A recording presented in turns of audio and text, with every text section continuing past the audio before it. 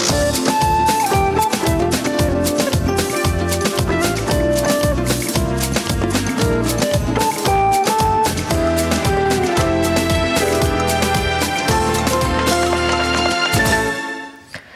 نهاركم سعيد مشاهدينا لليوم الأحد 26 كانون الثاني 2014 لا يمكن القول أن الملف الحكومي عاد إلى المربع الأول إلا أن أي تقدم لم يسجل في الأيام الأخيرة. فالاجتماع الذي عقد بين قياديين من حزب الله والتيار الوطني الحر مساء الجمعة تم خلاله تقديم عروض جديدة للتيار من دون أن يحقق ذلك الخرق المطلوب إذ لا يزال التيار مصرا على حقيبة الطاقة هذا فيما يخص الموضوع الحكومي. أما فيما يخص يعني الوضع الأمني فقد سجل بالأمس تطور أساسي هو امتداد داعش إلى لبنان وتحديدا إلى طرابلس حيث تمت مبايعة بعض القياديين في طرابلس لها وهي أعلنت رسميا بأنها هي تمتد إلى هناك. كما أكد مصدر أمني لل LBCI أيضا على الصعيد الأمني. أن مخابرات الجيش أوقفت خالد الصاطم قريب.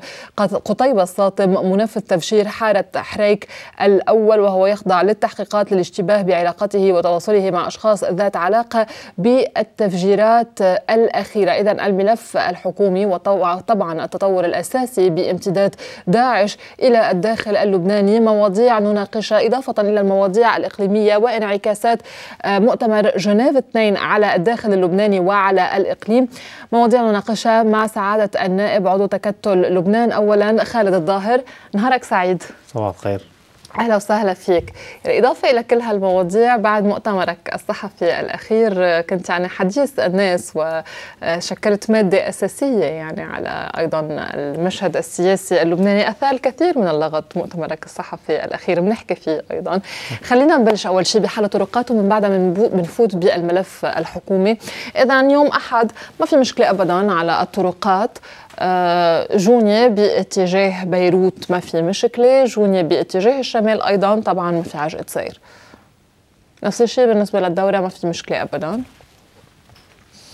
آه، شارل حلو ما في مشكلة. ساسين ما فيها عجقة ونشاطها خفيف. الحمراء أيضا نشاط خفيف يوم أحد والمحلات مسكرة. وأيضا بالنسبة لطريق المطار ما في عجقة سير المزرعة أيضا هدوء صيدا نشيطة ولكن دون عجقة سير. خلصوا؟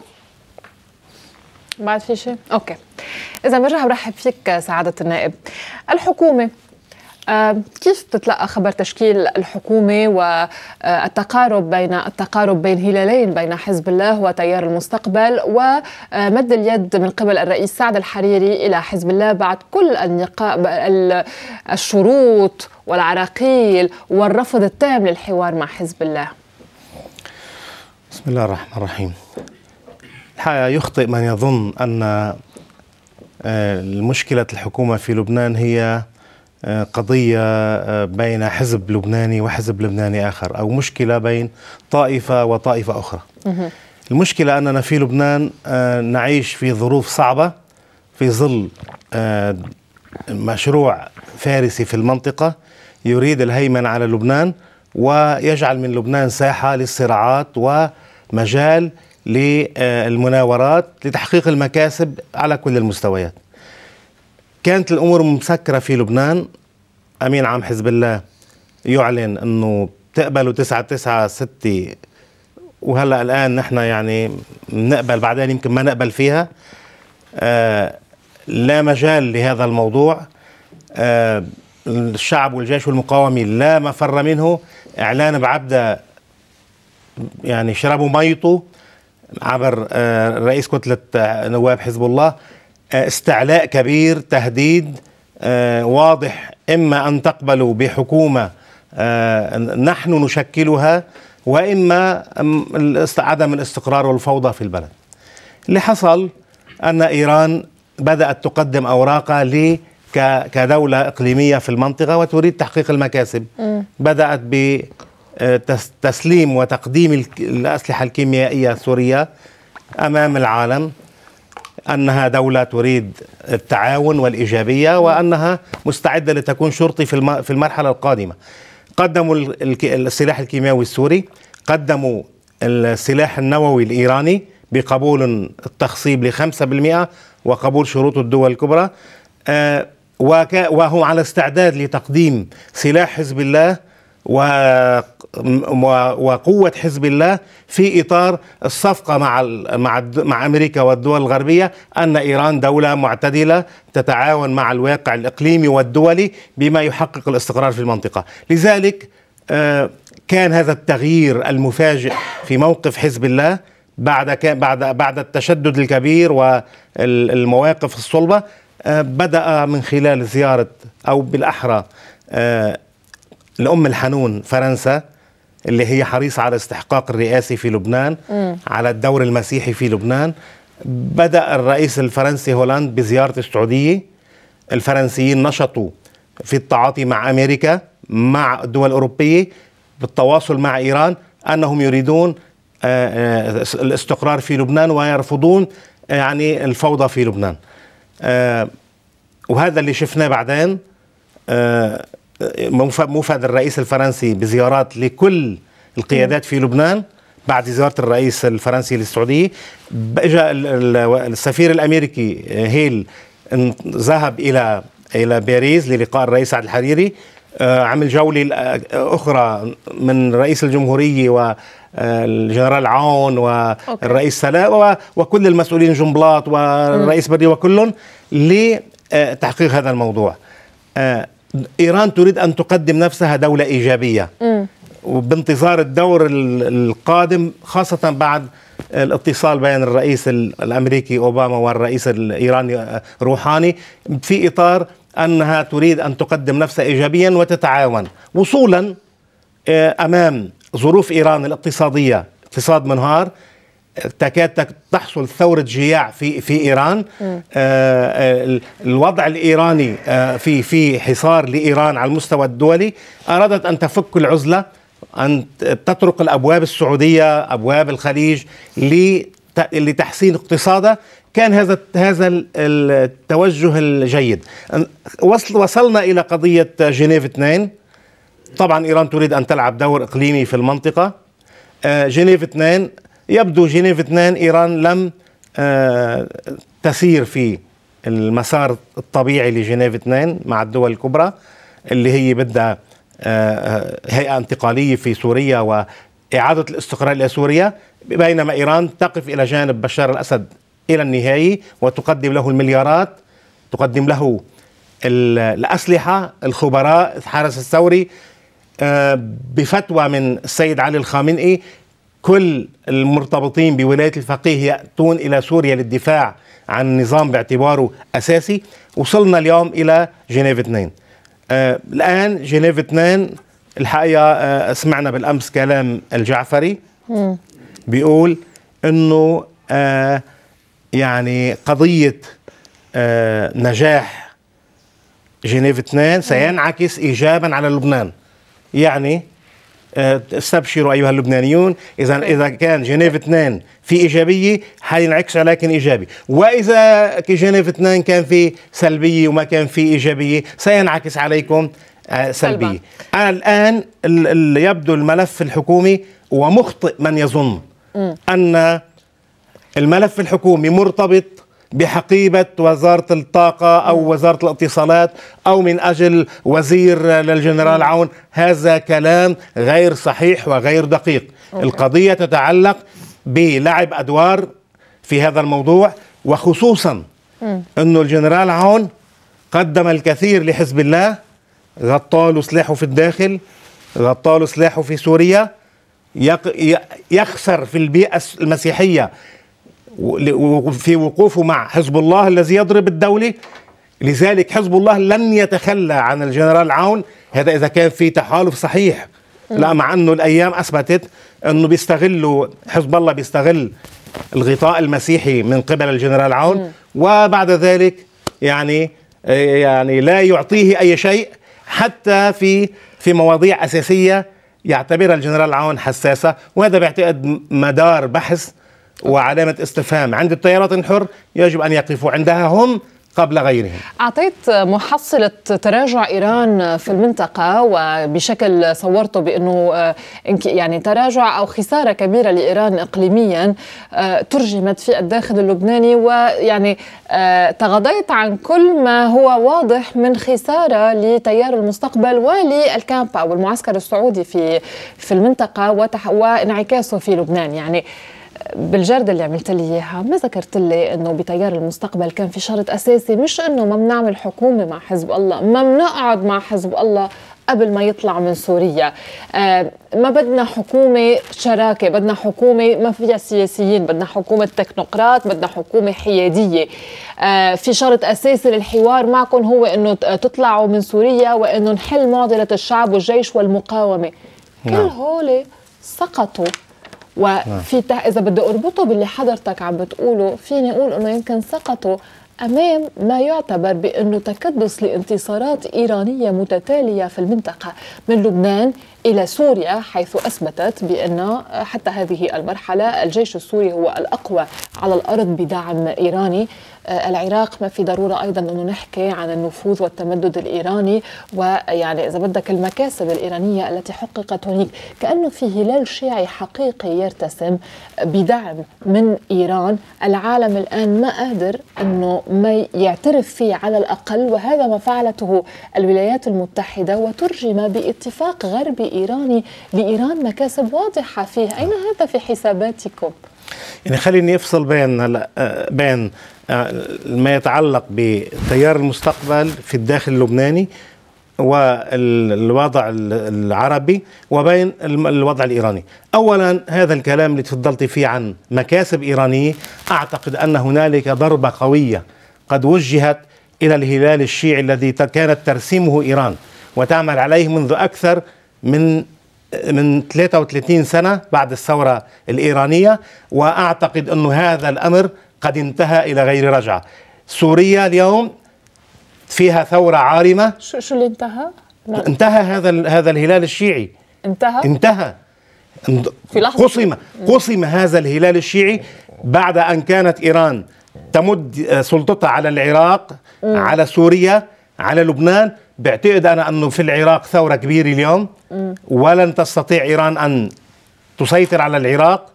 وما يجري في الأنبار وفي كل العراق دليل. الأمر الثاني في سوريا أين الربح السوري في سوريا بعد أن خسر النظام الذي كان يسيطر على سوريا؟ كل مقومات السلطة.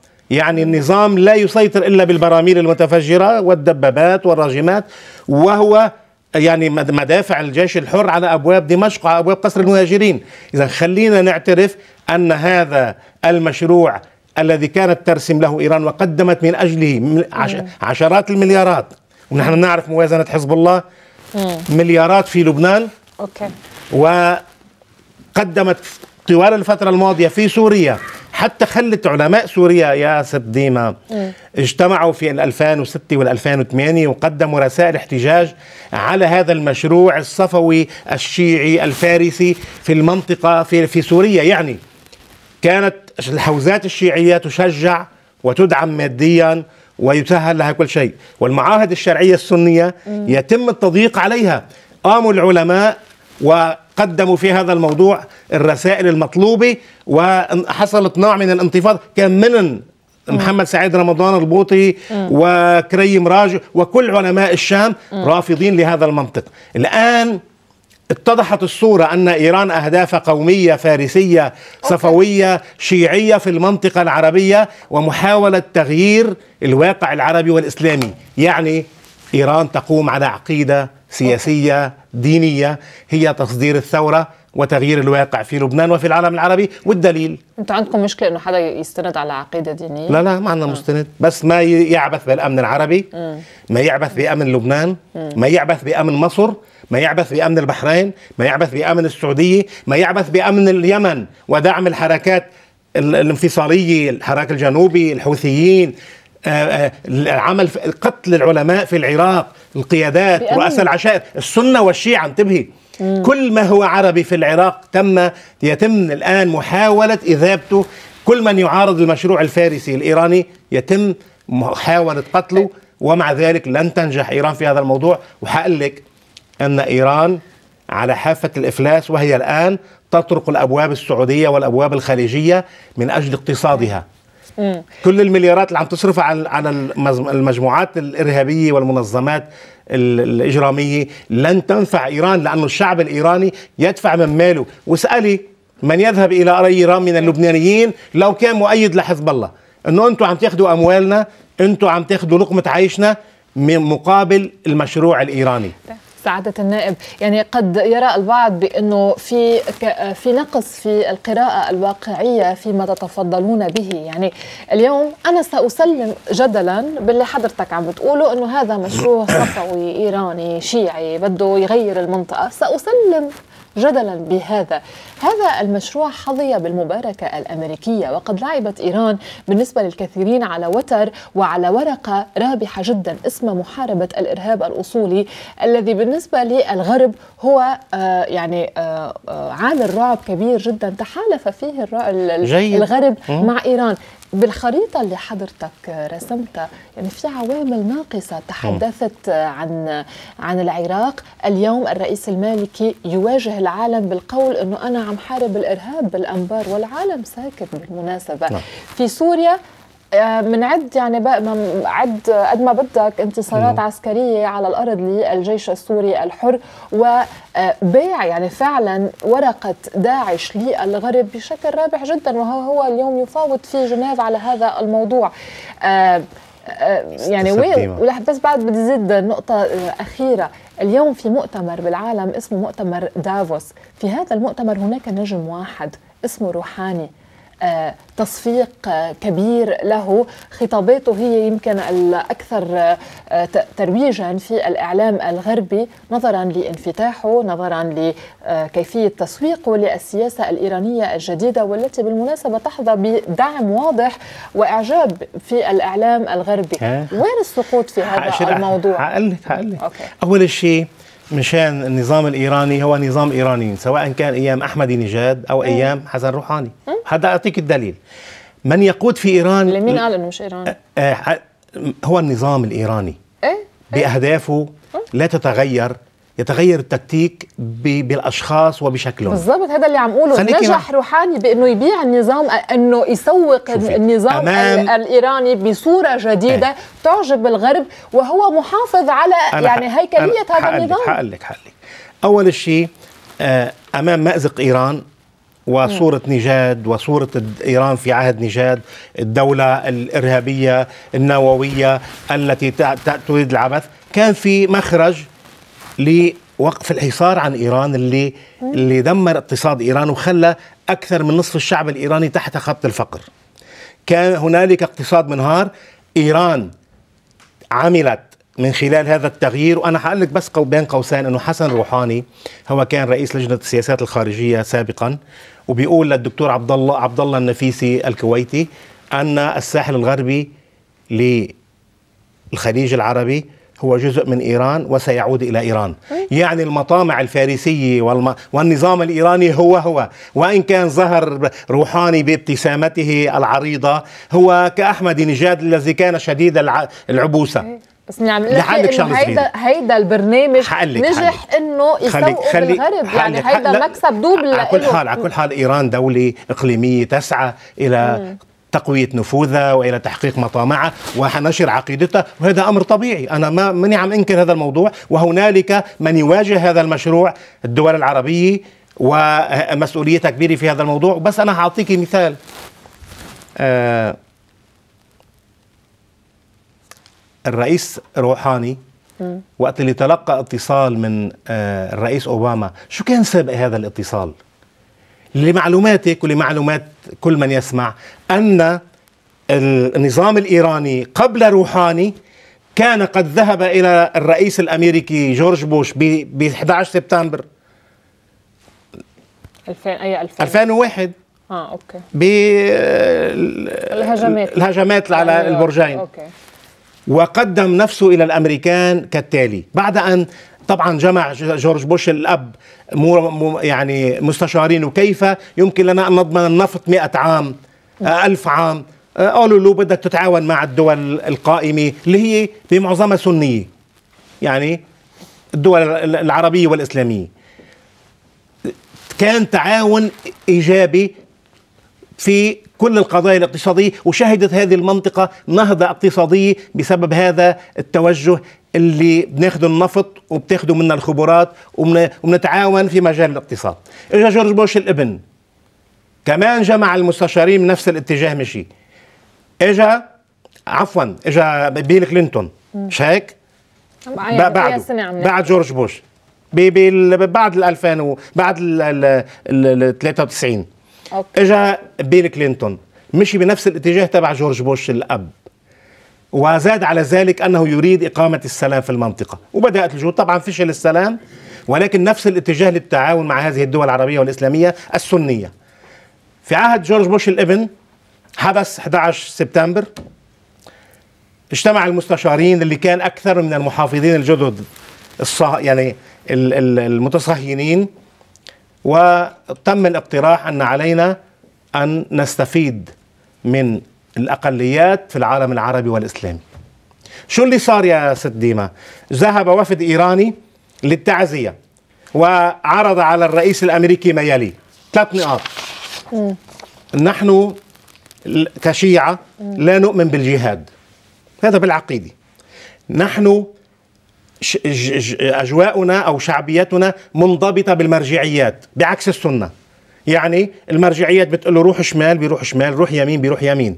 قاتل آه، المحتل الأمريكي بالعراق بقاتل لا تقاتله لا تقاتله. اذا منضبط. النقطة الثالثة علينا أن نتعاون لمحاربة الإرهاب السني. م. وبناء على هذه التقديمات أنا بدي بعرف تماما أمريكا وكل الدول العالمية. ليست كاريتاس ليست آه، هلال أحمر ولا صليب أحمر. هي دول ترعى مصالحها. وجدوا أن خير من يقوم بهذا الدور هم هي إيران. وبدأوا بالتعاون مع إيران في السر وفي العلن. يعني إيران جيت والسلاح الإسرائيلي من من إيران من لإيران من إسرائيل. معروف. التعاون الاقتصادي مع رجال الأعمال الإسرائيليين التعاون الاقتصادي مع رجال الأعمال الأمريكان وحقول لك شغلة صغيرة. كل هذا الصراخ وهذا الضجيج الإيراني بالقتال ضد أمريكا وضد كذا وأمريكا عندها خط أحمر. بس لوضح لك هذه الصورة. خط أحمر لا تريد المشكلة لا مع أمريكا ولا مع غيرها لأنها تريد التنمية. في إيران وتريد بناء الاقتصاد الإيراني وهي. تلعب بالعواطف وبالسياسة لتحقق مكاسب معينة. طب عظيم بس عم تنجح أو لا؟ لا يعني لا لا خليك طولي بالك. أين أين تنجح إيران؟ من سلم سلاحه النووي من يقدم نفسه يقدم كل شيء البترول ال ال الإيراني والدور الإيراني وخدمات مجانية. يا, يا ست ديما خليكي معي بس لك شو قدموا الإيرانيين. تفضل. بأفغانستان وزير الدفاع علي شمخاني بيقول للأمريكان لولانا لما احتليتم أفغانستان. السيد هاشم هاشمي علي هاشمي رفسنجاني كان رئيس إيران لولانا ما احتليتم العراق. الدعم الإيراني للاحتلال الأمريكي في العراق خير دليل. الفتاوى يا ست ديما يلي طلعت من المرجعيات بحرمة قتال المحتل. هذه جاءت ممن وبناء على من؟ المرجعيتين.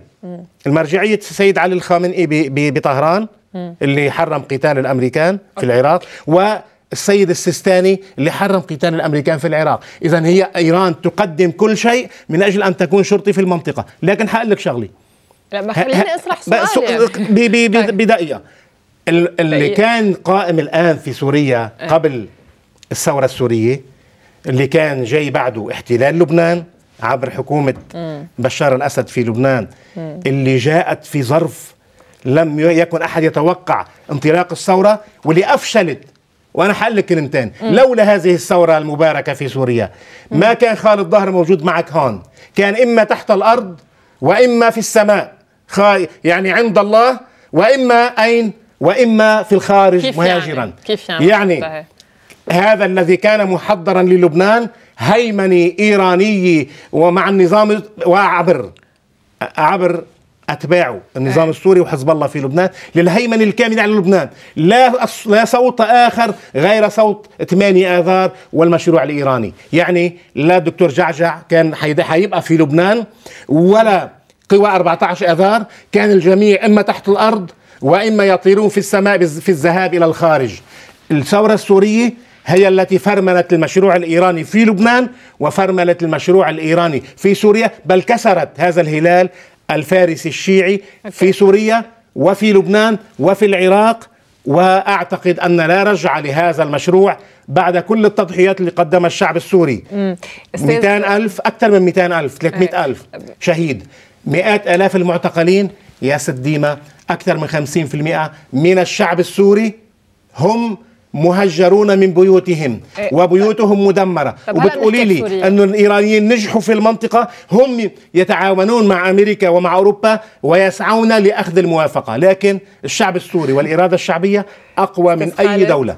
أستاذ خالد في هذا الاتفاق الغربي اللي حضرتك عم تقول إنه إيران تستسلم فيه الغرب اليوم يصافح إيران. هل طلب من إيران أن تسلم سلاح حزب الله؟ بولا واحد من التصريحات يعني حدا جيد. حكي عن هذا الموضوع. هل طلبوا من إيران أن أن تنسحب إيران أو الحرس الثوري الإيراني من سوريا؟ ولا حدا جيب سيرته للموضوع. هل طلبوا منها أن تضغط على حزب الله أن يخرج من سوريا؟ ما في حديث عن هذا الموضوع. هل طلبوا منها أن تضغط على المالكي بأن يوقف آه ما بعرف شو بدي أسمي المصطلح بالنسبة بالأنبار ولكن أحداث الأنبار على الأقل. يعني آه برجع بقول لك يعني قليل من الواقعية في في قراءتكم اليوم. آه، إيران ما حدا قال لها إنه لازم تخفف ضغطها اللبناني لا بالعكس أطلقت يدها كليا في لبنان. في سوريا انهزام كامل للجيش السوري الحر. لا لا مش صحيح هذا الحكي. لا لا, لا. يعني الجيش السوري الحر بطل طيب. موجود تقريبا في لا, لا بدك جاوب بس بدي كفي إيه. آه، إذا سمحت بهذا فضل. الموضوع. بس ما بيقعد فيني لحق لك 20 سؤال كيف بدي؟ عيطت لك هون 20 دقيقة حكي. بس إنه إذا بتسمح لي بالسؤال خلص السؤال. وأيضا بالنسبة لي حضرتك عم بتقول إيران استسلمت نوويا. آه، شيخ خالد إسرائيل قايمة قيمتها على الاتفاق الأمريكي الإيراني لأنه كرس إيران دولة نووية كرس هذا العرف سلمية ما في مشكلة هذا طيب خلوا عن ال 20% خلص هذا اللي في خطر يعني امبارح إذا طيب. بتتابع طيب. حتى تصاريح آه، الرئيس الإسرائيلي ورئيس الوزراء الإسرائيلي في مؤتمر دافوس قايمين قيمتهم على الموقف الإيراني وعلى الدعم الغربي الإيراني طيب. أين لكم أن تأتون بهذا الوشفul ثينكينج بانه اليوم إيران يعني طيب. خسرت في المنطقة يا مدام أه. اولا أنا لا أقلل من شأن دولة إقليمية اسمها إيران م. دولة نفطية دولة كبيرة دولة آه، لها آه، واقع جيوسياسي مهم ولها قدرات وعن بس أنا حأعطيك بس مثال وإشارة من البارحة. قلت لك إنه إيران بلشت تقدم أوراقها من الملف النووي والملف الكيماوي السوري و تبدي التعاون الإيجابي مع أمريكا طيب. في محاربة ما يسمى بالإرهاب. والآن أنا بس أعطيك تصريح البارحة لظريف وزير الخارجية الإيراني. شو بيقول؟ نحن لم نطلب من حزب الله شو؟ الدخول إلى سوريا. شو يعني؟ هذا يعني؟ مقدمة ليكون لسحب مقاتلي حزب الله من سوريا لأن هذا الأمر أصبح على سوريا وعلى إيران. وهذا محك وامتحان لإيران أمام كل الدول اللي كلها يتناطر أن تقوم إيران أن تقوم إيران بإثبات إيجابيتها في السلم الإقليمي بعدم العبث بالأمن العربي والأمن السوري بشكل خاص. آه، الواقع الإيراني ما حدا بينكره لكن الواقع اللي كانت ترسمه إيران قد انهار. الهيمنة على سوريا وعلى لبنان قد انهار إلى غير رجعه ولولا أن إيران محشورة ما كانت لتطلب من حزب الله اللي أعلن نحن بنعرف أنه أمين عام حزب الله بيحكي كلمة أنه أنا بحكي كلمة هذه بدها تصير. أنه هذه يا بتقبلوا بتسعة تسعة ستة في الحكومة يا إما طيب. يمكن هذه فرصة بتضيع منكم ما بعد يطلع لكم إياها. لماذا هذا التحول؟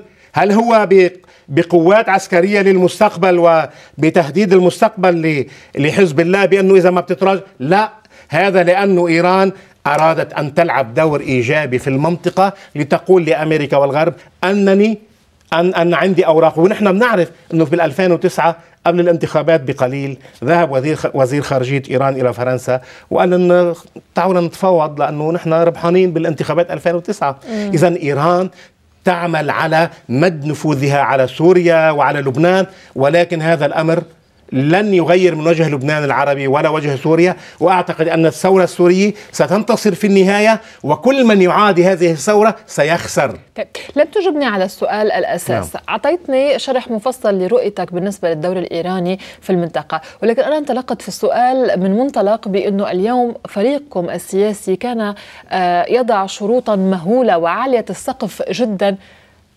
يعني كلها نزلت جيد. على الأرض كويس. منا إنه ما بنحكي مع حزب الله قبل خروجه من سوريا طلع إنه لا بنعمل حكومة مع حزب كويس. الله قبل كويس. خروجه من سوريا ممتاز. ما بنعمل إلا حكومة حيادية طلع بنعمل حكومة سياسية آه ومكترة آه أليس هذا خير دليل على شوف. أول شيء أنه في ضوء آه، خارجي سعودي أتى لكم بأنه آه، ألفوا الحكومة حتى لو لهاي عم بتقلكم أنه حزب الله هي هو اللي قتل آه، الرئيس رئيفيق الحريري وليس هذا أيضا انعكاسا لهزالة موقفكم في الداخل؟ شوفي أولا الدور السعودي تاريخيا دورا إيجابيا في لبنان والسعودية في تاريخها لم تكن يوما تعمل على التعاون مع فريق سياسي وتدعمه بالمال وبالسلاح كما فعلت إيران في تعاطي طائفي ومذهبي كل الدعم يأتي إلى طائفة معينة وإلى حزب معين بينما السعودية تقدم إلى الحكومة اللبنانية وخير دليل الهبة والمكرمه السعودية في خلال هذا الشهر اللي قدموها للجيش اللبناني كدولة وكسلطة ولم يقدموها لحزب أو لفريق أو لطائفة. السعودية لا تتدخل بدليل بانه رئيس الحكومة بس خليني إنه كل مفاوضات رئاسة الحكومة الأخيرة جرت في السعودية وانه اسم الرئيس تمام سلام جاء في السعودية ومن السعودية. هذا خير دليل بانه السعودية لا تتدخل في السياسة الداخلية بدك جاوبك. اولا السعودية لم ترسل أحد إلى لبنان ليتكلم هنالك من ذهب إلى السعودية الوزير جنبلاط وأعطى هذا الموضوع ل آه، في هذا الاتجاه. خليني بس كفيلك بالموضوع المتعلق بفريقنا. السعودية تقدم للدولة للحكومة لوزارة المالية. وكشوفات المالية الهبات والمساعدات. أعتقد أن ما تقدم السعودية يحصل يحصل خيره في الجنوب وفي البقاع وفي الشمال وفي بيروت وفي جبل لبنان وفي كل لبنان. والسعودية تفتح أبوابها للبنانيين ليعملوا كأناس أعزاء أشقاء. كل الأمور ميسرة لهم. ونحن بنعرف أنه مئات الآلاف من اللبنانيين يعملون في السعودية ولولا هذا الدعم الإنساني والاهتمام الأخوي والفرص العمل القائمة أنت بتعرفي إنه لبنان وضعه صعب والآن خليني بالحكومة واضح إنه ما عندكم مشكلة مع السعودية يا خليني بالحكومة ديما يا ست ديما نحن أمام الرأي العام م-م. هذه النظرة التي قام بها فريق 8 اذار كاد أن يو أن يودي بالعلاقات العربية بكفي بعد الفاصل بكفي سافصل إيه، عن دور السعودية الآن. خليني أحكي بالحكومة صدقني حفصل طيب. بدور السعودية جيد. بعد الفاصل جيد. عندي ملف بهذا الموضوع ديما. السعودية تريد التعاون بين اللبنانيين لكن السعودية والتي بذلت جهود كبيرة كان من ضمن في مؤتمر الكويت اللي أعلن فيه آه، آه، خادم الحرمين الشريفين المصالحة العربية ونسيان المشاكل الماضية مع بشار الأسد وغيره والانفتاح والحرص على جمع الصف العربي تلاها زيارة كبير العرب خادم الحرمين الشريفين الملك عبد الله إلى سوريا والمجيء ببشار الأسد إلى لبنان. بالعصر الجمهوري ونحن كنا شاهدين.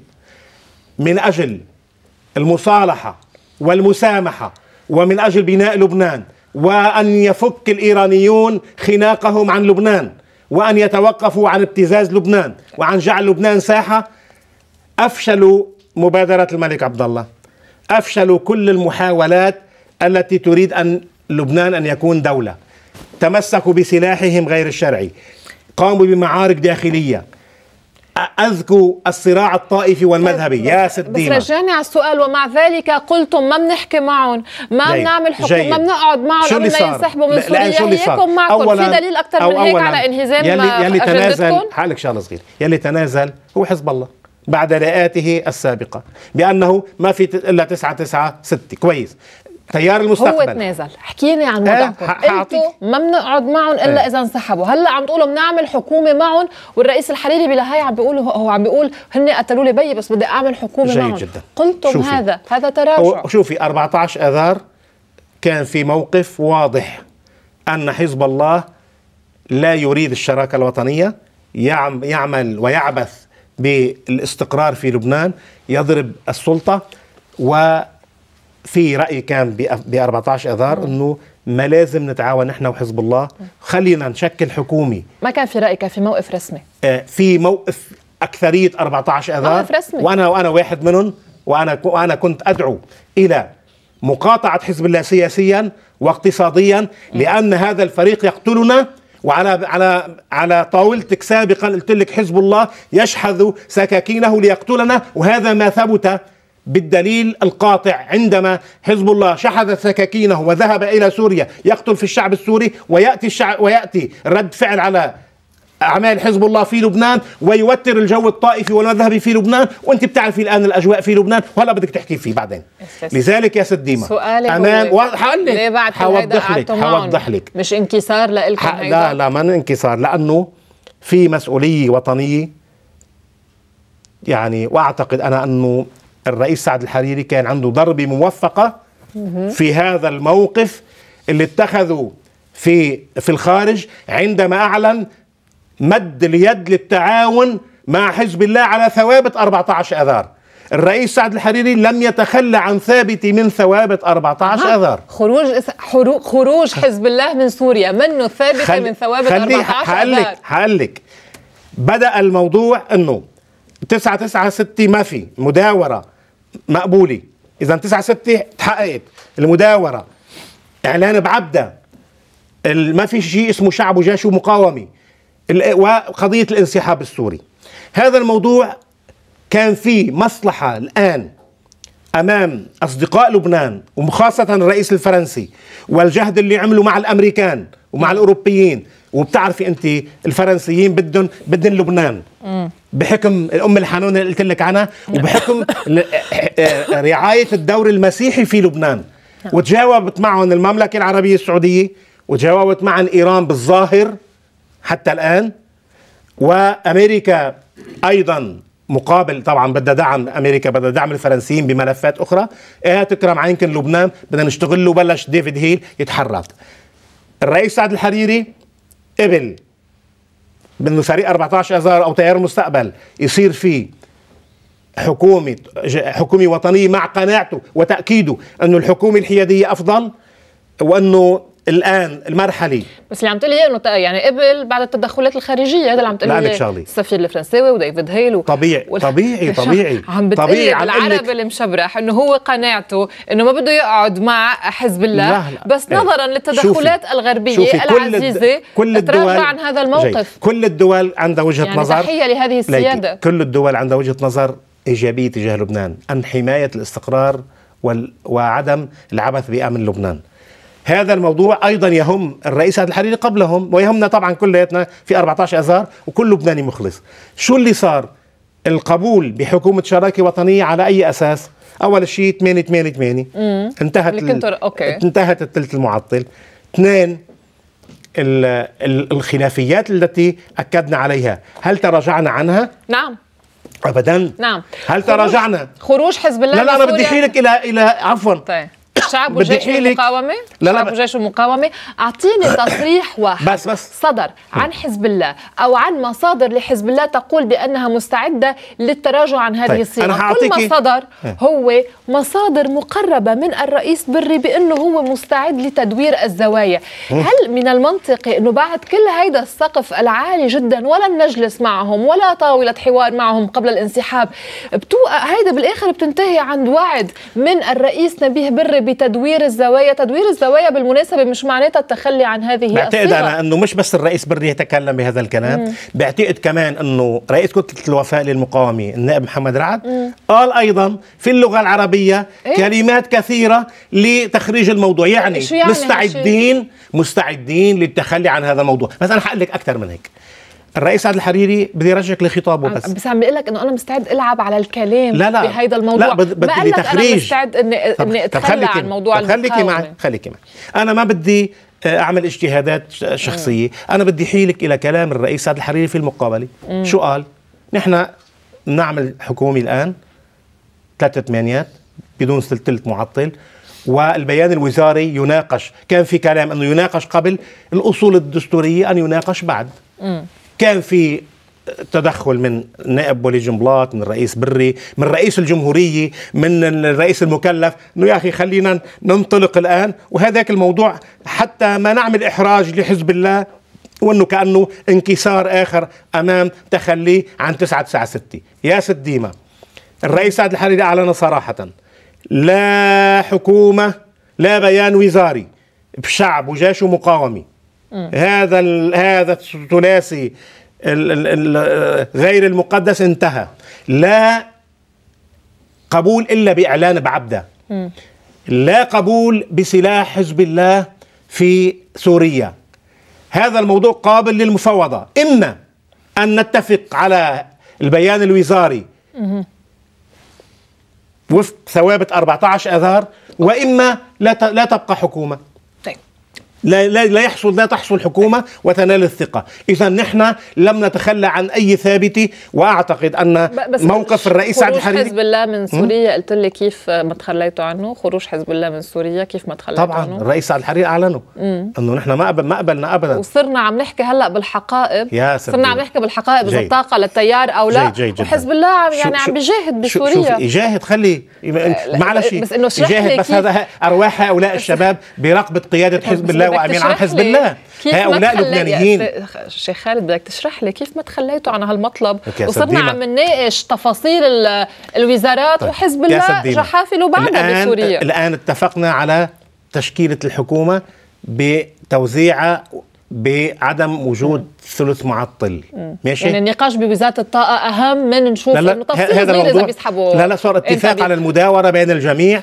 والآن هذه هلا أنت بدك تقولي لي أنه هي المشكلة بوزارة الطاقة. وبعدين مين قال أنه وزارة الطاقة؟ سؤال بس صغير أنه هي مطوبة باسم فريق معين. وأنا حقلك أكثر من هيك.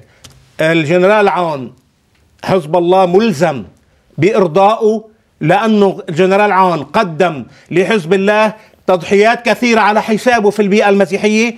غطى له سلاحه في الداخل دعمه في حربه في سوريا يدافع عنه في كل المواقع.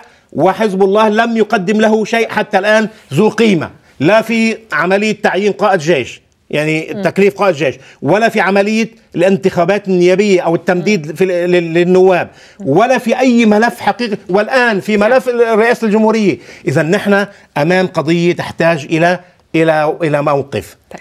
آه، آه، من بالنسبة إلى 14 أذار كلمتين. إيه، آه، كلمتين. ثلث المعطل ما في؟ البيان الوزاري. هو لمناقشة توجهات الحكومة ونحن عم لك إياها. والرئيس الحريري أعلن بخطابه لا قبول بشيء اسمه شعب وجيش ومقاومة في شعب وجيش ودولة ومؤسسات. لا تراجع عن إعلان بعبد الذي وقع عليه واتفق عليه الكل. طيب. بدهم يلحسوا توقيعهم اذا لا عهد لهم ولا ميثاق. ولا مجال للتعاون فيما بعد. يعني لن لن تقوم الحكومة. أوكي. بتتشكل بتصير حكومة تصريف أعمال. نحن لم نتراجع عن عن أي ثابته من ثوابت 14 ذر قيد أنملة. وأعتقد انه الضربه الموفقه اللي عملها الرئيس سعد الحريري كشفت حزب الله ومراوغته وعدم حرصه على تشكيل حكومه لأن حزب الله يريد الفراغ ولا يريد مصلحة لبنان بل يريد أن يكون هو الدويلة داخل الدولة والهيمنه على لبنان والمرافق والمطارات طيب. وغير ذلك. تقولون هلا بعد الفاصل بدنا نناقش فكرة إنه حضرتك طبعا من المدافعين على إنه دور السعوديه هو دائما بناء في لبنان وفي المنطقة. اليوم لبنان هو في مهب التفجيرات الانتحارية وفي مهب تنظيم القاعدة. آه، ما بتستنكروا ابدا دعم المملكة العربية السعودية للقاعدة؟ استغربت. خلينا خلينا تستغربوا؟ إنه؟ إنه اليوم المملكة العربية اليوم تنظيم القاعدة يعني آه، كثير مروج له إنه المملكة العربية السعودية هي آه، يعني يعني من أهم الراعين يعني لهذا التنظيم. أنت عم تحكي هيك؟ لا أنا ما عم بحكي هيك. أنا حأعطيك تقارير غربية آه، موثقة بتحكي عن هيدا الشيء بعد الفاصل.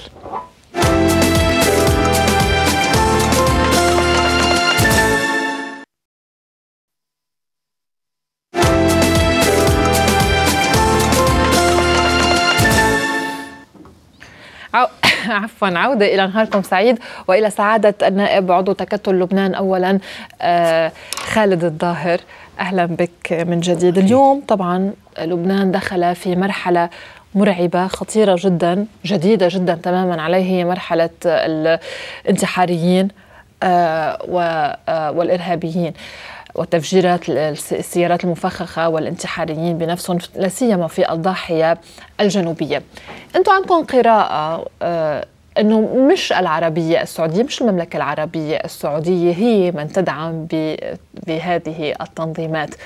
ولكن يعني إذا بدي أبدأ بالفكر وإذا بدي أبدأ بالمنبع كل التقارير وكل يعني التواريخ تشير بأنه منبع هذه التنظيمات كان في المملكة العربية السعودية. ستقول لي بأنه هي لا تدعمها بالعكس هي حاربتها. في تقارير غربية أصبحت تقريبا لا تحصى عن آه، دعم المملكة العربية للسعودية قد يكون يعني أهم آه، مقال ظهر في صحيفة الإندبندنت لباتريك كوكبيرن اسمه Mass Murder in the Middle East is funded by our friends the Saudis يعني آه، عنوان المقال يقول بأنه القتل الجماعي في الشرق الأوسط هو ممول من أصدقائنا السعوديين قبل ما أفوت بتفاصيل شو رأيك بهذا الموضوع؟ يعني آه، هذا بصريح العبارة هذه الاتهامات سخيفة ولا تستند إلى أي أصل أوكي. أو واقع. المملكة العربية السعودية تدعم الاستقرار في الواقع العربي والإقليمي ولم يثبت أن السعودية لعبت بتوازنات دول عربية لا بدعم ميليشيات فيها ولا بدعم عصابات بل أثبتت أثبت التاريخ أن النظام الإيراني الذي يعتمد على تصدير الثورة وعلى صرف المليارات من مال الشعب الإيراني على حزب الله وعلى الأحزاب الميليشيات الشيعية في العراق وعلى الخلايا في في البحرين وفي السعودية وفي مصر وفي الدول في في في قبرص وفي نيجيريا. يعني هذا الكلام أنا يعني ما بريد ينطرح آه، بمؤسساتكم المحترمة ولا آه، عندك يا ست ديما لأن هذا الأمر لا يستند إلى أي إلى السعودية هي التي تعرضت هي التي تعرضت للتفجيرات من القاعدة. هي التي تعرض حتى الأمير محمد بن نايف وزير الداخلية الذي كان يعمل على تفكيك هذه الخلايا وعلى على على منعهم من من الاستمرار في أعمالهم الإجرامية. جاءه أحد الأشخاص اللي كان ليحاوره وفي في داخل في داخله متفجرات وانفجرت فيه للرجل المجرم بالأمير اللي كان عم يحاور هؤلاء لمنعهم من ضلالهم. نحن بنعرف المملكة وكل العالم بيعرف المملكه العربية السعودية واللي ليكي ليكي إيه. كل هذه الدعايات والفقاعات والقنابل الدخانية لتحجب الحقيقة لن تفلح إيران هي التي هي لك بس آه. لك شغلة قضية أساسية كثير كثير. يا سيد ديما لا لا لا تاريخيا. بدي أوقف. بس دقيقة دقيقة. إيران دقيقة دقيقة. جماعات؟ لا لا لا. لتروح تفجر المقامات الدينية طولي. الشيعية؟ طولي طولي يعني تخنق طولي شوي. طولي. أي عقل منطقي في صعوبة إنه يفهمها لهيدي. ليكي البروباغندا والإعلام الإيراني فعلا آآ آآ عنده قدرات هائلة. إيه؟ ويديرون إعلام رائع ولضرب خصومهم واتهامات باطلة. بس أنا هقول لك شغلة صغيرة في التاريخ وهذه بيعرفوها كل العرب وكل الدارسين في الدراسات التاريخية. النظام الإيراني اليوم والنظام السوري هما امتداد لنظام الحشاشين ونظام القرامطة الذي قام في إيران في المناطق الفارسية في العام 1000 بعد الميلاد 1000 1050 1000 وبعد شيء. وهؤلاء اعتمدوا على اولا خليكي بس اوضح لك الصورة يا ست ديما. العام 1000 قبل بعد الميلاد إيران نعم. لم تكن شيعية. يا يا طولي طولي بالك طولي بالك. إيران صارت شيعية سنة 1576 إيه. لا لا لا كان موجودين. لا لا لا كان مش كان ده كان موجودين هؤلاء اللي اعتصموا بالجبال وكانوا بيعتمدوا على المخدرات. خليني بس يا ست ديما خلي تحكي عن فقه. سني أنا محلك مفوت بالموضوع. وقتها كانوا سنة الجماعه أنا متخصص يا ست ديما طولي لي بالك شوية هذا تاريخ وأنا أي مواطن عادي عربي أو لبناني. بتحط على اليوتيوب إيه. دولة الحشاشين إيه. دولة القرامطة وشوف إيه. النتيجة. يا, يا ست ديما. خليني أوضح لك. سنة 1000 بعد الميلاد إيران كانت آه، شيعية. يا ده ديما. كان موجود. صارت شيعية سنة الشيعه 1576 مع الشاه إسماعيل الشيعة بعد ما دبح السنة شو يعني شو عم نحكي. الشيعة موجودين. وهؤلاء كانوا اعتصموا في الجبال ضد الدولة واعتمدوا على المخدرات وعلى الاغتيالات. وحقول لك أكثر من هيك. هذا الاغتيالات هذا سمت عند النظام عند الفرس اللي اعتمدوا هذا الموضوع عند دولة الحشاشين دولة القرامطة اللي اغتالوا كثير من قادة العالم الإسلامي ومن النظام الملك ومن كثير وكثير من العلماء واعتمدوا على الخروج على الدولة. وهؤلاء الآن بممارسات الاغتيالات أنت فيك تقولي لي أن النظام الإيراني شو عمل؟ بتصدير الثورة فجر جامعة المستنصرية في بغداد كانوا يريدون اغتيال آه، صدام حسين فجروا السفارة العراقية عام 1981 بمين؟ بمباركة الحرس الثوري الإيراني وجماعة نوري المالكي واللي هن كانوا بيسمى بحزب الدعوة في لبنان اللي هن نواة حزب الله طيب. ثم تفجير السفارة الأمريكية ب 83 ثم تفجير مقر المارينز ثم تفجير مقر القوات الفرنسية طيب. واعتماد التفجيرات يا سديمة طيب. وصولا إلى اغتيال الرئيس الشهيد رفيق الحريري والمتهمين هن من حزب الله ومحاولة طيب. اغتيال النائب بطرس حرب طيب. سديمة هذا النهج بس لوضح لك دقيقة هذا النهج تعتمد إيران م. تاريخيا م. في بيئتها التاريخية ويعتمد النظام السوري اللي حاولوا جماعته لبشار الأسد اغتيال صلاح الدين الأيوبي عام 570 هجرية أول مرة طيب. وثاني مرة عام 571 ولكن هذا الأمر لم لم يعرف عن المملكة العربية السعودية ولا عن البيئة العربية وإنما هذا هذا الأعمال الإجرامية الإرهابية استيراد من عند النظام الإيراني ونهج إيراني فارسي طيب. okay. ضد okay. العروبي طيب. وضد الإنسانية وفي, وفي محاولة لضرب الخصم okay. ولضرب الخصم وإرهابه ولتحقيق طيب. ونشر عقيدته البعيدة عن العروبة وعن نعم. الإسلام. لأنه نحن كما حضرتك قلت مؤسسة مهنية المفروض أنه تحترم حالها. نحن بنستند على الوقائع بأسئلتنا وبمقاربتنا. أه لما نقول أنه السعودية تدعم القاعدة هذا ما بيكون خارج عن عبث هذا بيكون خارج عن تقارير رسمية. حضرتك عم بتقول أنه إيران فظيعة شو بت يعني شو قادرة أنها تلعب بالإعلام. ما تخيل أنها هي قادرة تلعب بالإعلام وبالتقارير الرسمية اللي صادرة عن السي آي إي. أو بالتقارير الرسمية اللي صادرة عن اللجنة الخاصة بالتحقيق بأحداث 9 11 2001 بأمريكا واللي قالت حقراه بالإنجليزي وارجع ترجمه The first report is in 9/11 Commission report, which found that Osama bin Laden did not fund Al Qaeda because from 1994 he had little money of his own, but relied on his ties to the wealthy Saudi individuals and prince established during the Afghan War in 1980s. Quoting, among other sources, a CIA analytical report dated in 14 November 2002, the Commission concluded that Al Qaeda appears to have relied on a core group of financial facilitators who raised money from a variety of donors and other fundraisers in the Gulf countries and particularly in the Saudi Arabia. يعني بيقول لك التقرير إنه تقرير اللجنة المنبثقة لتحقيقات 9/11 بتقول إنه أسامة بن لادن كان غير قادر سنة ال 94 إنه هو يمول تنظيم القاعدة نظرا لأنه ثروته المالية كانت محددة جدا وبأنه استعان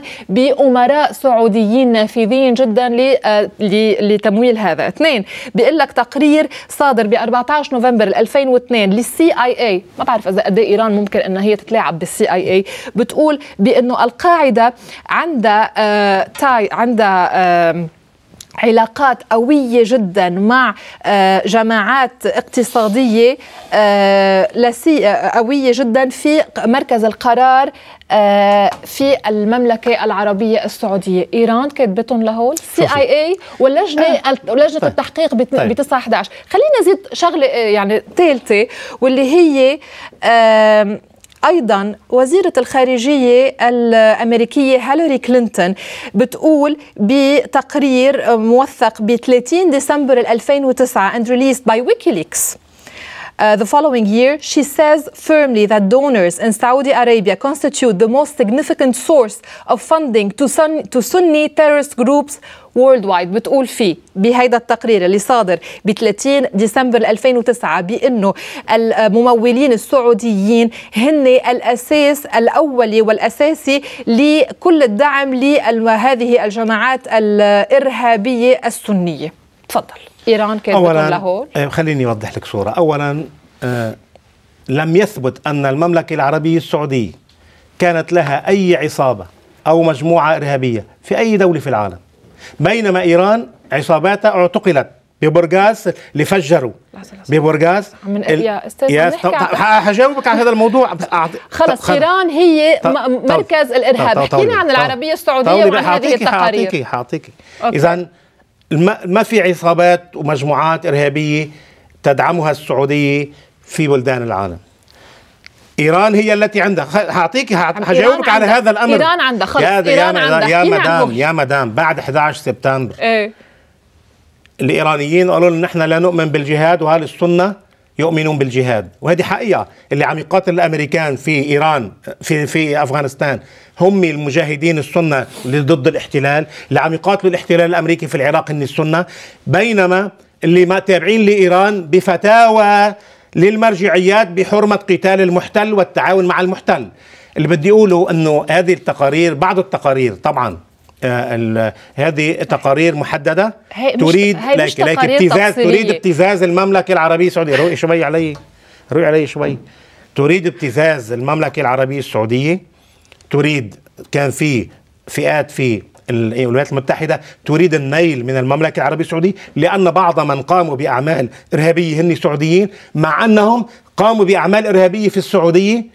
وهم ملاحقون في السعودية وهم يعتدون على الأمن السعودي ومع ذلك محاولة الصاق هذا الأمر لا يستند لا إلى واقع ولا إلى حقيقة بل إلى افتراءات ومحاولات لجنة تشويه تحقيق احداث 9 11 بال 2001 طلعت إنه هي هلأ همها إنها تفتري على السعودية لأنه في عندها طار بينها وبين السعودية وفي عندك ما بعرف كم 100 امريكي مات بالأبراج. طلعت هلأ كل الراي العام بده يسمع. تفضل. أسامة بن لادن الشيخ أسامة بن لادن كان قد يعني كفر حكام السعودية والدولة السعودية وجماعته عم يعملوا تفجيرات في السعودية. كيف يكون السعودية داعمة لمن يفجر في أمنها وفي استقرارها ويحاول قتل مسؤوليها؟ وذكرت لك الأمير محمد بن نايف. م. كيف حاول المجرم قتله للأمير بعد أن استأمنه؟ يعني في خيانة. أنا جاي لأتحاور أنا وياك للحق. لأنه في نظرية إنك أنت ممكن هذا كله لا يغير في, في نظرية إنه أنت ممكن تربي غول وبعدين ينقلب عليك وفي نظرية أخرى إنك أنت ممكن تحارب هيدا أسامة بن لادن. في نظرية إنه ممكن أنت تحارب هيدا التنظيم داخلك ولكن تشجعه خارج. طب اشرح لي ليه هالتقارير طالعة؟ صار في احتلال. اي اي في عندها تقرير مفصل عن دعم المملكة العربية السعودية؟ أنا أعطيتك يا سديمة هذا الكلام ليس ليس أساسا في السياسة الأمريكية. ولو كان هذا الأمر حقيقة عند الأمريكان وزيرة الخارجية الأمريكية عم تقول لك هيك يا سعاده يا سعاده النايب ديما يا سديمة. في محاولات من قبل بعض اللوبيات في في المملكه في الولايات المتحدة الأمريكية لإحراج السعودية والابتزاز السعودية وللضغط على السعودية. وهذا الموضوع لن يغير في الحقيقة. السعودية اللي حصل بأفغانستان وقت اللي تم احتلال أفغانستان. كل العالم نهض لمساندة الشعب الأفغاني ضد الاحتلال الروسي السوفيتي. الأمريكان الأوروبيين الدول العربية. وكان الشيخ أسامة بن لادن أحد الذين ذهبوا إلى هناك لمقاتلة الأمريكان. ثم انقلب الشيخ أسامة بن لادن على المملكة العربية السعودية وتم يعني يعني أخذ الجنسية منه.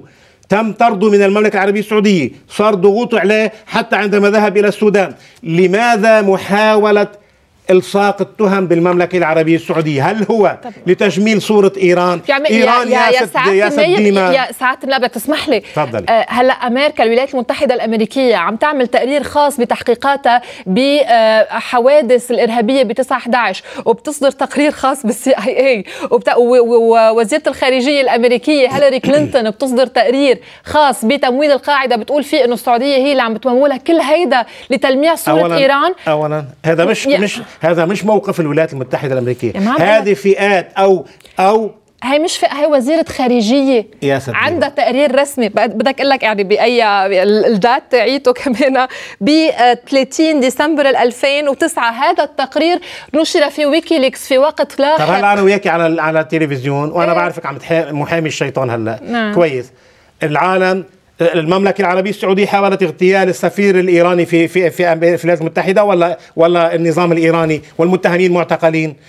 المملكة العربية السعودية متهمة بتفجير برغاس ولا طيب. جماعة طيب. حزب الله وإيران خلص إيران جماعة نيجيريا هني جماعة السعودية ولا جماعة طيب. إيران جماعة الأرجنتين جماعة مم. خلية مصر طيب. خلايا في في المغرب العربي لك بماليزيا بماليزيا إيران هي شريرة ولكن أنا عم أقول لك إنه في وقائع أخرى إنه السعودية يا سدي ما في تنظيم دولي اسمه تنظيم القاعدة مم. له أهدافه ضد الحكم السعودي مم. يكفر الحكم السعودي وضد الدولة السعودية ويعمل أعمال تفجيرية في السعودية. بدك تقنع العالم العربي والأمريكي أنه هؤلاء تابعين لل للملك عبد الله وللحكم السعودي وهم يفجرون السعودية. هذا الأمر طب غير. أما الأمريكان حالك شغلة. الأمريكان يبتزون المملكة العربية السعودية ودول الخليج. والسياسة الأمريكية واضحة. لا يهمها لا العرب ولا الفرس ولا الشيعة ولا السنة. الأمريكان يريدون مصالحهم. واجا اجوا الايرانيين وعرضوا خدمات لمحاربة الإرهاب السني واليوم في تعاون من أجل مقاتلة ما يسمى بالإرهاب السني في كل مكان بغباء من الولايات المتحدة الأمريكية ومن الأوروبيين بصراحة ومن بعض الأنظمة الإقليمية اللي عم تلعب عليهم إيران تحت هذه اليافطة الكبيرة من الذي يعبث في الأمن العربي في اليمن؟ من يأتي بالسلاح للحوثيين؟ طيب. للحراك الجنوب؟ من الذي عنده تلفزيونات في الضاحيه لا لا لا لا لا, لا الرئيس علي البيض. سعاده النايب أنا منطلقه معك. خل أنا أسلم مش جدلا. أسلم معك. إيران هي دوله لا خلينا نقول جدلا. يعني إرهابية وقاتله حقيقة مش مش تسليم. أنا يعني بس إنه مش هنقدر ننطلق بالحوار بس أنت الا بدك أنت بكلامك بدك تقولي القاعدة تابعة للسعودية. ما حدا بيصدق هذا الكلام يا سيدنا لأنه مناقض للواقع وللحقيقة تفضلي. أنا منتقل بسمح لك بسؤالين. تفضلي. شكرا. أنا أنا سأسلم جدلا معك إيران وراء ثلاث أرباع مصايب العالم. خلص هيدي سلمت لك يا خلينا ما نحكي بقى عن إيران وعن كل المصايب اللي عملتها. أنا كل اللي عم إيران هي التي أذكت الصراع المذهبي okay. في الأمة العربية okay. والإسلامية. سنة شيعة. قبل إيران قبل النظام okay. الإيراني. الجديد. ما كنا نعرف. خلص. لا سني ولا شيعي. سلمت لك بهالموضوع. جدلا نعم. okay. انتهينا من هالموضوع هن شريرين ومش منيح ولا لا الله سبب المصايب ثم الثوره السوريه ما دل في إيه. حدا لا جميل ولا جعجع ولا إيه. سعد الحريري. ولا خالد ظاهر ولا كل السياديين في لبنان.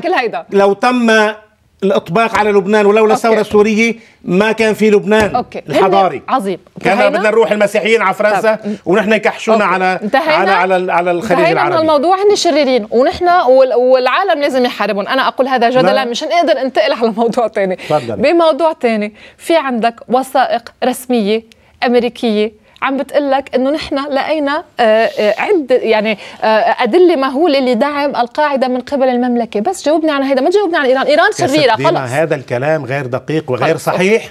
وحقول لك أكثر من هيك. لو هذا هذا في السياسة السعوديه مم. الولايات المتحدة الأمريكية ما بتتعاطى مع المملكة العربية السعودية آه. كدولة صديقة. آه بلا هذا موجود وفي ودولة متعاونة مع متعاونين مع بعض بالعلن مش مثل إيران. بدك تشتغل بالسر يا ديما. بدك أقرأ لك مهلة التقرير اللي هو كمان. بيدعي إنه والله هذا الابتزاز ال... هذا بيكونوا عاملينه لأنه اللي قاموا بالعمل هن عرب. طيب.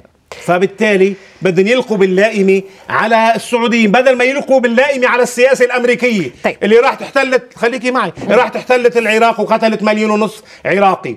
وقصفتهم ب- بقنابل المشعة وقتلت وضربت التوازنات في العراق وأذكت الروح المذهبية. وجاء اجى بول بريمر وقال نحن بنتعاون مع الشيعة لأنه بينضبطوا عند المرجعيات ما فينا نتعاون مع السنة. واجوا احتلوا أفغانستان وقتلوا من ال- ال- الملايين من الشعب الأفغاني. والسياسات. الأمريكية المنحازه بفلسطين مع الاحتلال الصهيوني ضد حق الفلسطينيين. هن يروحوا الأمريكان يتحملوا هن مسؤولية أعمال غير الأخلاقية okay. وغير والمعاديه لحقوق الإنسان. ما يحطوها عند السعودية. السعودية okay.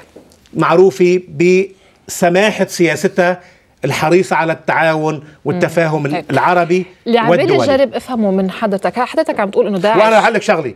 أنا أتمنى إنه من الأشقاء في السعودية إنه يغيروا سياستهم هذه السياسة اللينة ويورجوا العين الحمراء ويردوا على الاستفزازات الإيرانية وبعتقد أنهم يمتلكون من وسائل القوة في هذه الأمة ما يردع المشروع الإيراني الفارسي من التمدد في المنطقة ومن العبث بأمن العرب وصولا إلى أمن المملكة العربية السعودية طيب. السعوديين هم الآن مسؤولون عن هذا عن أمنهم وعن أمن بس الخليج العربي وعن. أمننا في لبنان. خلينا بس نجرب نشرح للمشاهدين.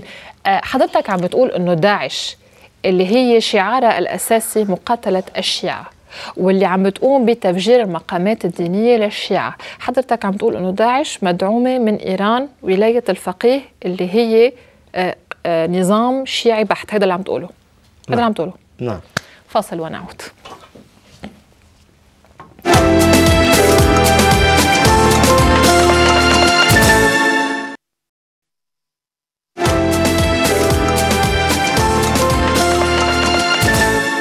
عودة إلى نهاركم سعيد وإلى سعادة النائب خالد الظاهر. دايما الحلقة معك حامي.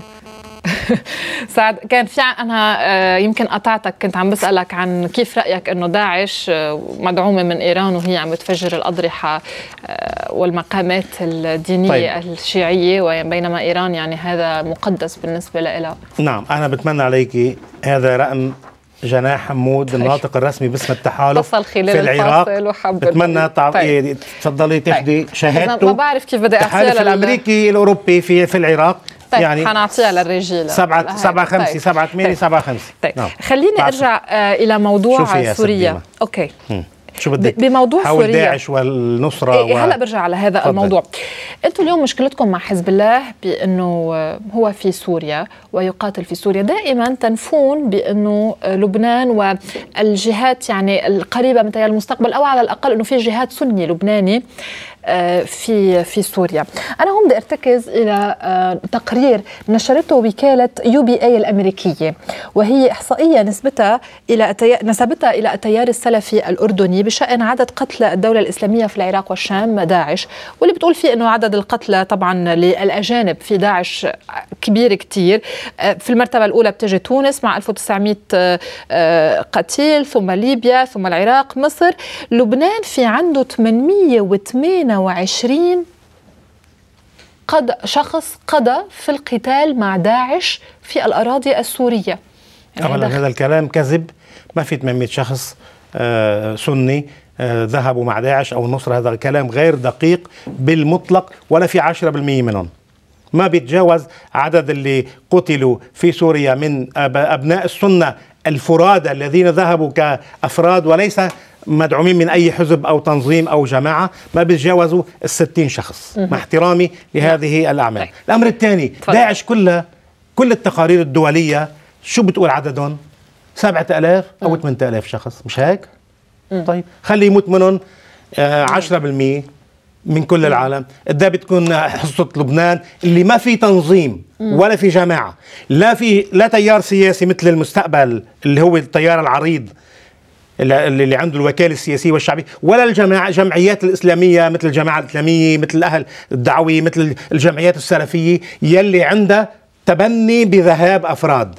في أفراد ذهبوا على مسؤوليتهم وقعوا في حبائل مع الأسف الأجهزة الأمنية اللبنانية يلي أوقعتهم أخبرت عن مع الأسف النظام السوري وقتلوا سواء في تلكلخ أو في مناطق أخرى طيب. لأن التعاون قائم على قدم وساق ضد آه، الفريق الذي يدعم الثورة السورية وتسهيل كامل لحزب الله الذي يدعم النظام السوري وكلنا بنعرف شاحنات المتفجرات من مصانع المتفجرات في آه، واللي أنا فضحته في مرة من الأيام كانت ترسل إلى مئات الأطنان اللي الان تلقى على طيب. الشعب السوري. طيب. يا ست ديما. جناح حمود صار طيب. معنا على الهواء. آه، أهلا وسهلا فيك أستاذ جناح. حضرتك خلال الفاصل آه، اتصلت كنت حابب أنك تعمل مداخلة بخصوص بصراحه ما ما, ما كثير توضح لي الموضوع. تفضل أستاذ جناح. أهلا ست ديما. كنت عم تسألي تفضل. كنت عم تسألي آه، الأستاذ خالد الظاهر أول شيء مرحبا لكم أهلا وسهلا كنت عم تسألي إنه السعودية كانت عم تدعم بن لادن آه، بأفغانستان. وإنه عن التقارير تقول ال CIA في الولايات المتحدة إنه السعودية هي ضالعة في دعم القاعدة. صحيح. واستندت إلى تقريرين. بس اسمح لي لوضح استندت إلى تقريرين. تقرير خاص بلجنة التحقيق ب 9 وتقرير نعم. صادر عن ال CIA وأيضا paper أو يعني نوع من التقرير صادر أيضا عن وزيرة الخارجية الأمريكية هيلاري كلينتون وقد نشر في ويكيليكس تفضل. نعم أنا قاريهم هذه التقارير ما عم بقول لك لا. بس أنا اللي أنا هدول التقارير قاريهم ما عم بقول لك لا. أنا اللي عم بقول لك إنه بسنة 1994 نعم. بموافقة الولايات المتحدة نعم كان بن لادن مدعوم من من أطراف آه، ورجال أعمال سنية لمحاربة الروس. نعم.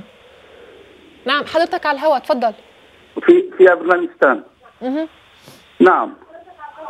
بس من بعد ما اختلف بن لادن والسياسة الأمريكية في الوضع في أفغانستان. نعم. وبعد آه، آه، الحرب الباردة التي اتفقت عليها الولايات المتحدة والروس أصبح دور بن لادن غير موجود في في أفغانستان. فالسعوديه السعودية ورجال الأعمال السعوديين ليس لديهم أي صلة بن لادن بعد 1994 لا يعني للدقة التقرير لا يقول بأنه هو يقول بأنه آه، تأسيس القاعدة سنة ال 94 آه، ما كان بالأموال الخاصة ببن لادن لأنه التقرير يوثق بأنه سنة ال 94 90 آه، أسامة بن لادن ما كان يملك ثروة كافية لتمويل ولتأسيس هكذا هكذا تنظيم وبالتالي هم إيه. يقولون بأنه الجماعات نعم نعم السعودية والأمراء السعوديون هم من, من مؤسسي هذه هذا هذا التنظيم. تفضل. نعم. لكن الشيخ أسامة بن لادن في سنة 1994 أيضا كان يتمول من الدولة الإيرانية في أفغانستان وكان لديه أولاد يعيشون في إيران وكانوا يمدونه بالأموال من إيران إلى أفغانستان. نعم صحيح كانوا عايشين بإيران صحيح. أنا لا طبعا كانوا عايشين أنا في العراق. حينما كنت الناطق الرسمي السابق لقوات التحالف. كانوا الإيرانيين يجتمعون مع الأمريكان للتخطيط لضرب أهل السنة في العراق. أنا عم بقول لك أنا عم بقول لك أنا الناطق الرسمي وبتحمل مسؤوليتها.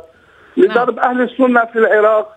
واليوم في العراق الشيعة يحكمون في العراق والمالكي ماشي مع الأمريكان ومع الإيرانيين.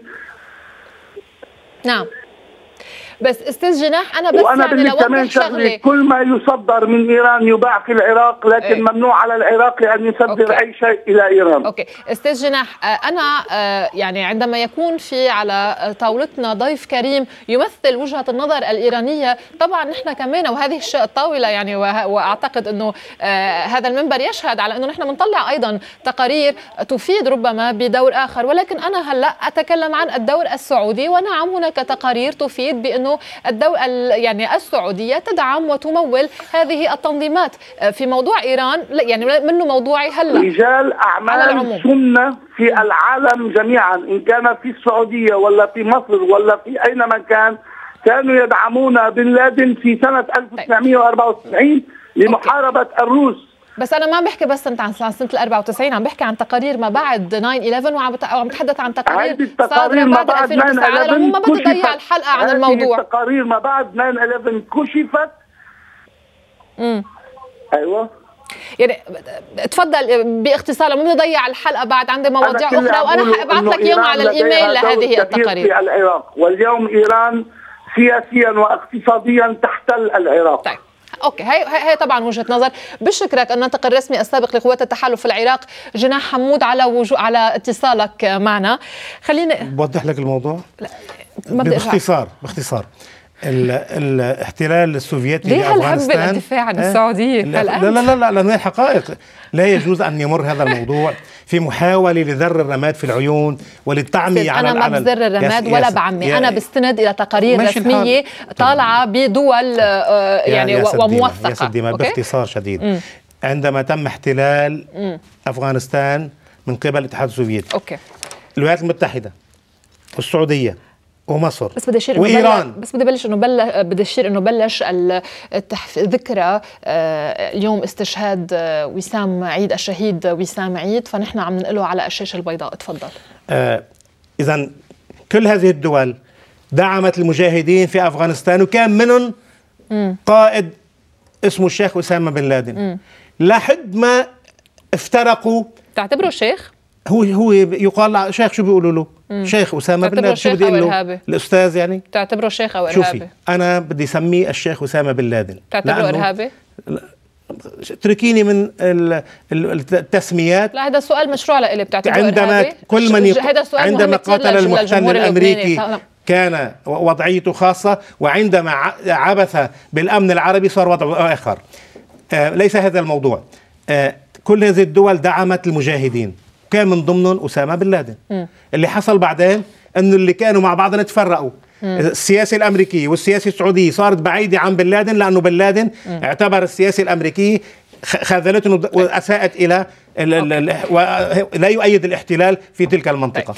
آه سؤال كتير لكن محاولة إلصاق التهمة بالسعودية مم. هذه محاولة فاشلة اللي عنده الخلايا في كل العالم هو إيران ولكن العالم يتعاون مع إيران هلأ كدولة هلأ قوية وعلى المملكة العربية السعودية أن تستخدم كل ما لديها من طاقات وإمكانيات سياسية ومالية ودور إقليمي وعربي في حماية الأمن العربي okay. واستخدام الأوراق التي لديها سنبعث نسخة عن الحلقة لهيلاري كلينتون ولمسؤولي ال CIA للقول بأنهم هن عم يتآمروا على السعودية ولكن سؤال لن أتخلى عنه لأنه كتير مهم للبنانيين طالما هن اليوم صاروا في مهب الإرهاب وفي مهب القاعدة تعتبر أسامة بن لادن إرهابيا أم لا؟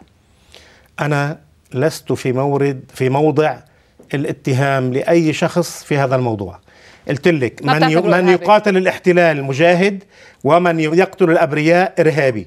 أنا ما بدي قيم الشيخ أسامة بن لادن وأعتقد أن سياسته في السعودية كانت خاطئة تماما مم. وحصلت أعمال إجرامية من قبل جماعته بس ما بتعتبره إرهابي. ما, ما بدك تعتبره أنا, أنا ما فيني فوت بهذا الموضوع. كل من يقتل الأبرياء هو إرهابي.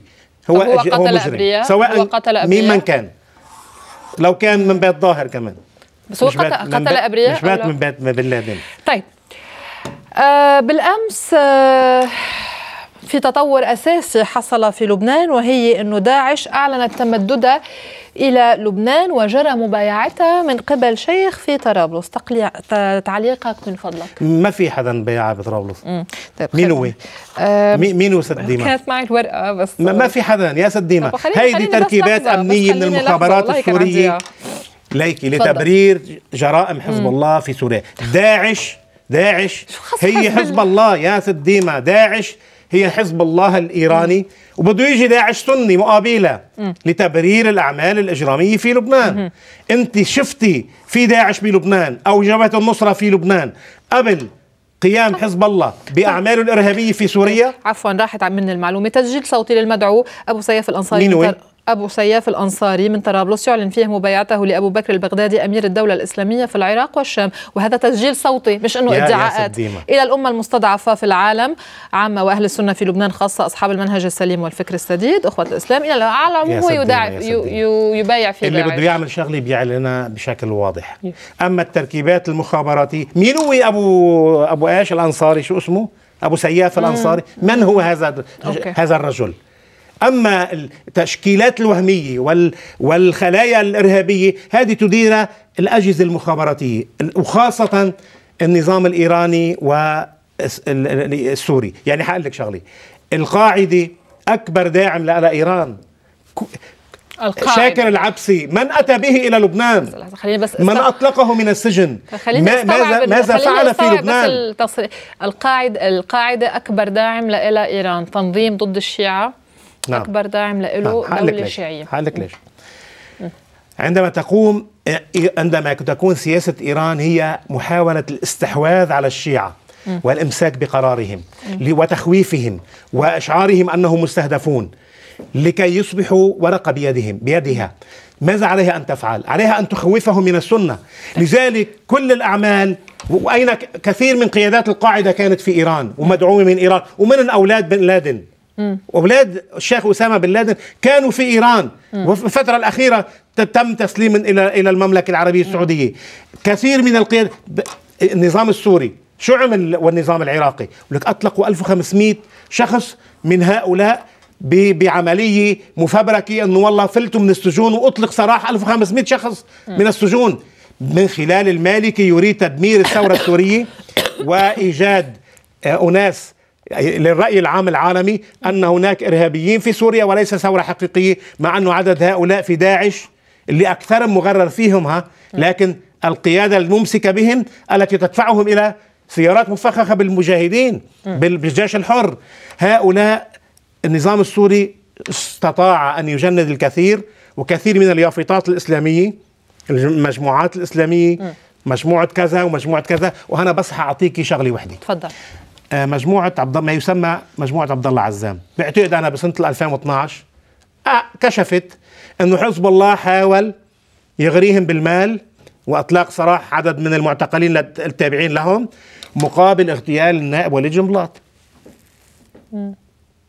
وهددوا بهذا الموضوع وكشفوا الموضوع والنائب وليد جنبلاط يعرف هذا الموضوع تماما. إذا نحن أمام مؤامرة للنظام الإيراني والسوري لتشويه صورة السنة تشويه صورة الثورة السورية لتخويف الأقليات يريد أن يحارب يعني بالأقليات. هي إيران اللي اخترعت المنظومة آه، آه، أو, أو هذا الشكل الذي يظهر عليه التطرف السني. هي إيران مش مسؤولة عن شكل داعش مثلا. هي مين اللي عم يشوه صورة السنة؟ داعش طبعا هذه داعش أجندتها تخدم المشروع الإيراني والنظام السوري. طيب. وأنا بس أعطيكي قصة صارت معي. إلى موضوع سنة 2000 أنا أي. كنت في الجامعة الإسلامية تركت الجامعة الإسلامية بسبب خلاف في الانتخابات. أي. بيتم اتصال فيني من أحد مسؤولي المخابرات بطرابلس. وبيعرض علي المال والسلاح. انت انت ليش ما بتشكل آه، مجموعة أو فريق لك ونحن بنأمن لك 200 بندقية بنأمن لك مبالغ مالية وتجمع القوى السلفية وأنت أنت نزال لحالك. أنت شخصية مهمة صاروا ينفخوا فيني. يا سد ديما. أنا لو عقلي خفيف لولا أني أشعر بالباب يعني أتمتع بفضل الله بالوعي الوطني وبالحس الإيماني وبالمسؤولية أمام شعبي واهلي كنت أمام المغريات عملت تنظيم آه، ما يسمى سلفي أوكي. مع أنه السلفية هي ليست تهمة طبعا هي طبعا. على نهج السلف الصالح طبعا. طبعا. رضوان الله طبعا. عليهم المتمسكين بأصول الإسلام طبعا. لذلك في غير كتير. قبل ما يخلص وقتي في عندي سؤال آه، يعني مهم مهم بالنسبة يمكن للجمهور. في مؤتمرك الصحفي وهذا حمل لي هذا السؤال من قبل الكثيرين. في مؤتمرك الصحفي الأخير طبعا عم تبتسم لأنه يمكن عارف عن شو عم بحكي.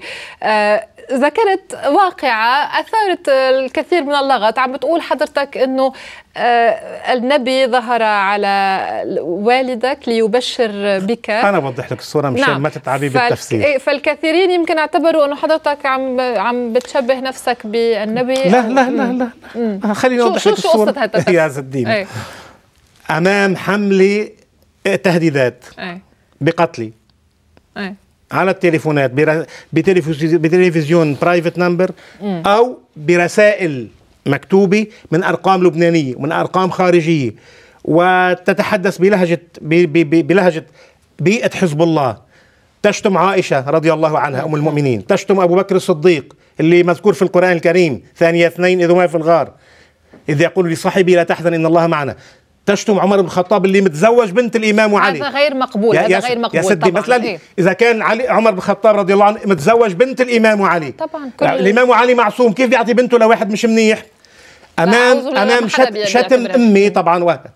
وتهديدي. طبعا أنا آه، في قضية في حياتي.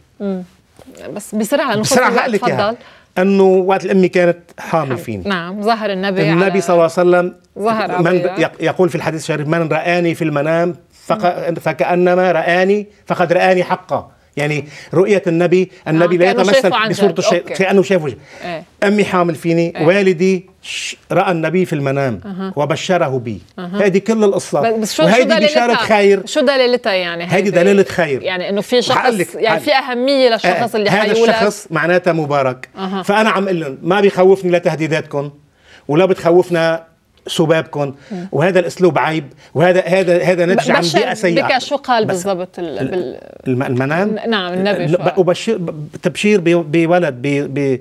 فوالدي أمي من من آل الرفاعي. وقريبنا الشيخ ظافر الرفاعي رحمه الله كان رجل صالح فوالدي قص علي المنام نعم. فقال له بده يجيك ولد صالح. فأنا رجل بفضل الله لم في حياتي لم أفعل أي منكر بفضل الله. لم أسئ لأحد. لا إلى مسلم ولا إلى مسيحي. وأنا بتاريخي لما كنت بالجامعة اللبنانية وكان النائب اصطفان دويهي زميل إلي. كان القوى الطلابية مجتمعة أكثر من 20 آه، تنظيم طلابي قوات لبنانية من اليمين واليسار والشيوعيين والناصريين والجامعة الإسلامية. أنا كنت ممثل الطلاب المسلمين. طيب. وقت بدنا نعمل احتفال بذكرى بذكرى الاستقلال إيه. كلهم بدهم يحكوا. وأنا الإسلامي قلت لهم شو بكم شو بكم بدكم تحكوا لكم أنا بيمثلني اسطفان الدويهي okay فالحس الوطني والحس الإيماني والمسؤولية الوطنية والمسؤولية الإيمانية مم. والشخص اللي كان له مواقف صلبة وحقول لك بس قضية تاريخية إيه بس بسرعة بسرعة الوقت. إيه. في يوم في يوم سنة 1986 بكانون الأول بآخره إيه. اجتمعوا في ببنين الأحزاب التابعة للنظام السوري طوقوها وأنه بدهم يتخلوا الناس عن الجماعة الإسلامية okay. فجيت أنا على الاجتماع وقلت لهم كيف بدكم تحلوا الجماعة الإسلامية؟ أنا هذه هذا فكر و... و... وفي ناس مؤمنين بهذا الموضوع وجيت معي الشباب القبضيات وقلت لهم ما حدا في يدق فينا وحق لكم كلمتين. آه. إذا أنتم قررتوا تحلوا الجماعة الإسلامية في ببنين آه. أنا قررت حل حزب البعث بالقرداحة. هذا سنة 1986 للمواقف الصلبه اللي أنا كنت باخذها وقت ما كان حدا له قلب يحكي. ف المواقف الصلبة وكلمه الحق أقولها وأنا مثل ما قلت لما اللي ازعج إنه صاروخ وما صاروخ. إيه. أنا بحكي كلمة الحق. وهي أقوى من الصواريخ وأفعل من كل الأسلحة لأنه كلمة الحق ترضي الله سبحانه وتعالى. يعطيك العافية سعادة النايب. وشكرا لك على وجودك معنا اليوم بال LBCI ونهاركم سعيد. مشاهدينا شكرا لكم على حسن المتابعة. ونهاركم سعيد.